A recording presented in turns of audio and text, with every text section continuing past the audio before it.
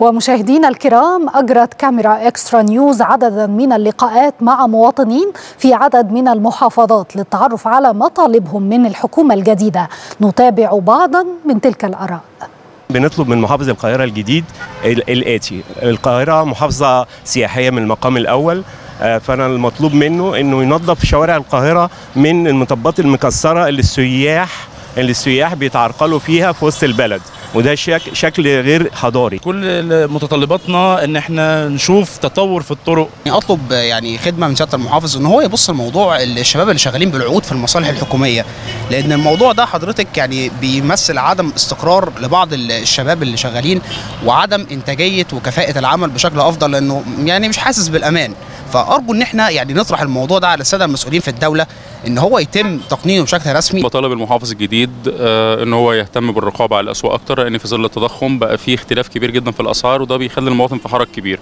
آه يكون برضو في رقابة على المواصلات آه تسعيره التاكسي تسعيرة المواصلات العامة يهتم برضو بنظافة الشوارع الصرف الصحي لازم طبعا تكون الشوارع كلها نظيفة بمظهر يليق ببلدنا. المحافظ الجديد عايز ينزل الشارع يشوفني ويشوف غيري ويعرف مشاكلنا الفعلية ويحاول يحل اللي يقدر عليه أو مش لازم حل كل كامل يقوم يحل حتى حل جزء يقوم يريح الناس. مراقبة الأسعار لأن الأسعار والتجار في جشع ومفيش رقابة.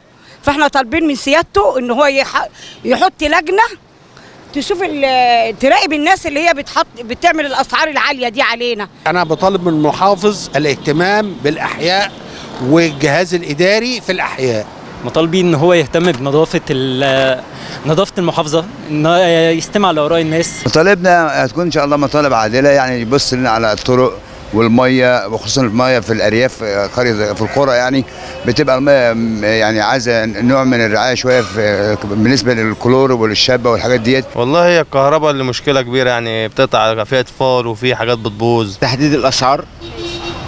تمام. الرقابة على التجار والأسعار في السوق؟ برغم أن الإسماعيلية يتم عليها أو تجري عليها فعاليات مهرجان الإسماعيلية الدولي ومهرجان السينما التسجيلية الدولي ولكن لا نشعر بتلك المهرجانات لأننا لا نشعر بتلك المدينة التي كانت ربيع دائم. في مشكلة في عدم التنسيق ما بين المؤسسات وبعضها. هو القطاع الكهرباء اللي هو مش منتظم ثلاث ساعات مرة مرة ساعتين عايزين بس نعرف المواعيد. عايزين نشوف مثلا منطقة مثلا زي منطقة كفر الجزار بالنسبة لتكدس السيارات في المنطقة ديت بتخلي مثلا الطريق صعب خاصة في وقت الذروة اللي هو وقت خروج الموظفين.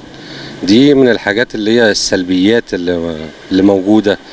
برضو من ضمن السلبيات اللي موجودة برضو في منطقة كوبري الرياح التوفيقي برضو بالنسبة للبائعين المتجولين. برضو الموضوع زاد عن حده قوي بين العدل في كل حاجة.